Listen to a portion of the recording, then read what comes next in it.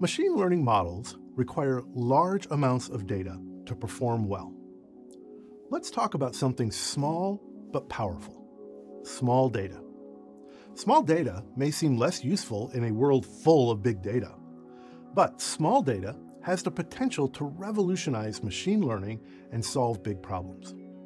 In our world today, we're generating more data than ever before, but we don't always have the amount of data we need for a machine learning model we want to train. That's where small data comes in. By carefully selecting and pre-processing data, and using specialized machine learning techniques to augment data or fine-tune existing models, we can develop accurate and robust models that can transform the way we live and work. With small data, we can provide more personalized and targeted services in healthcare, education, and beyond, leading to better outcomes for individuals and society as a whole.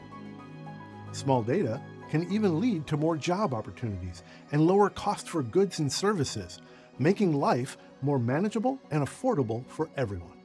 So, don't let the lack of big data discourage you from using machine learning to solve problems. Take a step back and focus on the power of small data.